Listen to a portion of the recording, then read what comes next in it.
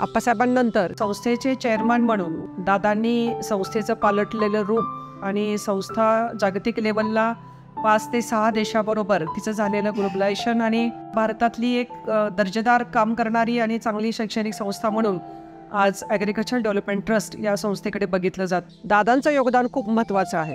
कारण त्यांचा स्वभाव आहे की जे करायचं ते मनापासून करायचं. स्वतःचं मत आहे त्याच्यापासून ते मात्र तसवरही डळत नाहीत. त्यामुळे त्यांनी जो आहे ते पूर्ण केल्याशिवाय ते स्वस्थ बसत नाहीत. त्यामुळे एक स्वच्छ मनाचा व्यक्ती म्हणून मला ती खूप भावते. आणि सगळ्यात महत्त्वाचं म्हणजे त्यांच्या सानिध्यामध्ये तरुण खूप असतात. त्यामुळे त्या तरुणांना काय अडचणी आहेत? कुणाला आर्थिक मदत पाहिजे का? किंवा कुणाला उद्योगधंद्यामध्ये काय मार्गदर्शन पाहिजे का? लाखो शेतकऱ्यांपर्यंत पोचलेला हा माणूस आहे. शेतीचं आधुनिक तंत्रज्ञान सगळ्या शेतकऱ्यांपर्यंत कृषकच्या माध्यमातून पोहोचवण्याचं काम राजेंद्र दादा करतात आहे. विषमुक्त अन्न हा जो कन्सेप्ट आहे तो आता त्याच्यावरती दादा खूप काम करतात आहे. त्यामुळे आम्ही सगळेजण त्यांच्या मतांचा त्यांच्या विचारांचा आदर करतो. खरं तर आता वयाच्या पासष्टाव्या वर्षामध्ये पदार्पण करणारे दादांकडे जर बघितलं तर सांगूनही कुणाला विश्वास वाटत नाही की दादा पासष्टचे झालेले आहेत. एकतर फिटनेस खूप चांगला आहे डाएटवर अतिशय चांगला नियंत्रण आणि कंट्रोल आहे. गौतम बुद्धांच्या विचाराचा दादांच्या आयुष्यावर खूप मोठा परिणाम आहे. त्यामुळे गौतम बुद्धाचं तत्त्वज्ञान एक तर गौतम बुद्धांनी केलेलं त्या काळामध्ये शेतकऱ्यांसाठीचं काम आणि ह्या सगळ्या गोष्टीचा दादांवर आणि दादांचा ते बोलत राहू आणि आम्ही आम्ही ऐकत राहू अशा अनेक अद्भुत गोष्टी दादांकडं माहितीचा खजाना असतो. त्यामुळे अभ्यास आहे वाचन आहे.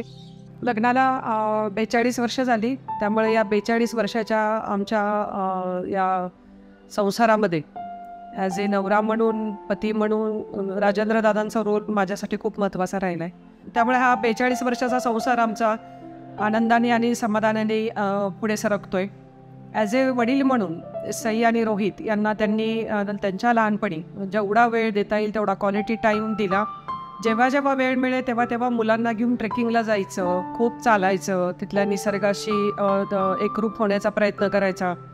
आणि आता आजोबाच्या रोलमध्ये अतिशय चांगल्या पद्धतीने दादा आनंदिता आणि शिवांश यांच्याबरोबर रमण्याचा प्रयत्न करतात त्यांना निसर्गात घेऊन जातात.